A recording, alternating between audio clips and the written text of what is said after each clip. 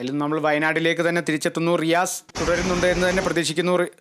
ഇപ്പോൾ രക്ഷാപ്രവർത്തന രക്ഷാപ്രവർത്തനത്തിനായി ആർമിയുടെ പ്ലാറ്റൂൺ ചൂരമലയിൽ എത്തിയതായി കളക്ടറും അറിയിച്ചിട്ടുണ്ട്.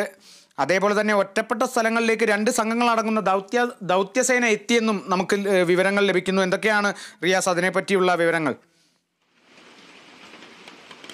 എന്തായാലും സേന എത്തുന്നു എന്നുള്ളത് ഏറെ ഒരു ആശ്വാസം പകരുന്ന ഒരു വിവരമാണ്.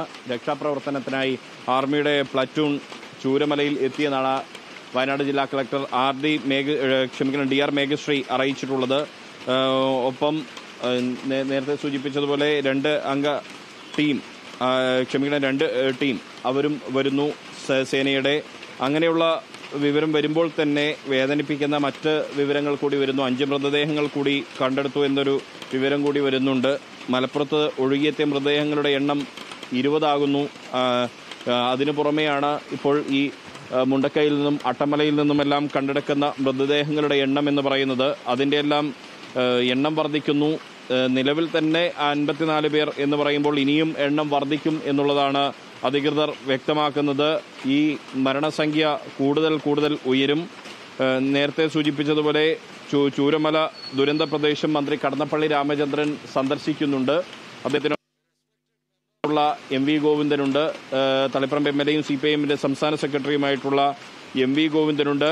വയനാട്ടിലേക്ക് മന്ത്രിമാർ തിരിച്ചിട്ടുണ്ട്. കോഴിക്കോട് അവർ അല്പസമയത്തിനകം മന്ത്രിമാർ മൂന്ന് പേർ നിലവിൽ അവിടേക്ക് പുറപ്പെട്ട മന്ത്രി P A Muhammad Riyas O R Kelu K Rajan എന്നിവർ എത്തും. നേവി സംഘം ഉച്ചയോടുകൂടി എത്തുമെന്നാണ് ഏഴിമലയിൽ നിന്നും ഉച്ചയ്ക്ക് ശേഷം നേവി സംഘം എത്തും എന്നാണ് വ്യക്തമാകുന്നത്. കോഴിക്കോട് നിന്നും കണ്ണൂരിൽ നിന്നും പുറപ്പെട്ട സൈന്യത്തിന്റെ സംഘം അവർ ഈ വയനാട്ടിലേക്ക് എത്തുന്നു എന്ന് വ്യക്തമാകുന്നു. അവർ കൂടി എത്തിക്കഴിഞ്ഞാൽ രക്ഷാപ്രവർത്തനം കൂടുതൽ കാര്യക്ഷമമായി തന്നെ മുന്നോട്ട് പോകും. ഈ പറഞ്ഞതുപോലെ വലിയ പ്രതിസന്ധി സൃഷ്ടിക്കുന്നത് ഈ കനത്ത മഴ തുടരുന്നു എന്നുള്ളത് തന്നെയാണ്. അതിതീവ്ര മഴയാണ്. സാധാരണ മഴയല്ല അതിതീവ്ര മഴയാണ്. അത് വലിയ രീതിയിൽ ഈ രക്ഷാദൗത്യത്തെ ബാധിക്കുന്നുണ്ട്. റോപ്പ് കെട്ടി എത്രമാത്രം ഈ മലവെള്ളപ്പാച്ചിലിനെ പ്രതിരോധിച്ചുകൊണ്ട് എങ്ങനെയൊക്കെ സാധ്യമാകും ഈ രക്ഷാപ്രവർത്തനം എന്ന് അറിയില്ല.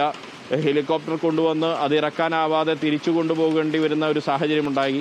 പ്രതികൂല കാലാവസ്ഥയിൽ ഇറക്കാവുന്ന ഹെലികോപ്റ്ററിന്റെ സഹായം ലഭിക്കുമോ എന്ന കാര്യം അതിനുള്ള ശ്രമങ്ങൾ നടന്നു വരുന്നുണ്ട്. അത്തരത്തിലുള്ള ഒരു ശ്രമങ്ങൾ നടക്കുമ്പോൾ തന്നെയാണ് മരണസംഖ്യ ഒരു ഭാഗത്ത് കൂടുന്നു ഒരു ഭാഗത്ത് രക്ഷാപ്രവർത്തനത്തിന് ശ്രമങ്ങൾ നടക്കുന്നു. കൂടുതൽ പേർ കുടുങ്ങിയതായിട്ടുള്ള വിവരങ്ങൾ പുറത്തു വരുന്നു. നേരത്തെ പറഞ്ഞതുപോലെ എഴുന്നൂറോളം പേർ ഈ ഹാരിസൺ മലയാളം എസ്റ്റേറ്റിൽ കുടുങ്ങുന്നു. ഈ മുണ്ടക്കയിൽ മുന്നൂറ് കുടുംബാംഗങ്ങൾ കുടുങ്ങുന്നു. നൂറോളം പേർ ഈ റിസോർട്ടിൽ ഡ്രീം വാലി റിസോർട്ടിൽ കുടുങ്ങിയതായിട്ടുള്ള വിവരം പുറത്തു വരുന്നു. അതിനുമപ്പുറം മുപ്പത്തിയഞ്ച് തൊഴിലാളികളെ കാണാതായി എന്ന വിവരം വരുന്നു. ഏഴുപേരെ മറ്റിടങ്ങളിൽ നിന്ന് കാണാതായി എന്ന വിവരം വരുന്നു. ഇനിയും കണ്ടെത്താനാവാത്ത ഒരുപാട് ആളുകളുണ്ട്. അവർക്കായുള്ള ശ്രമങ്ങൾ തുടരുന്നു.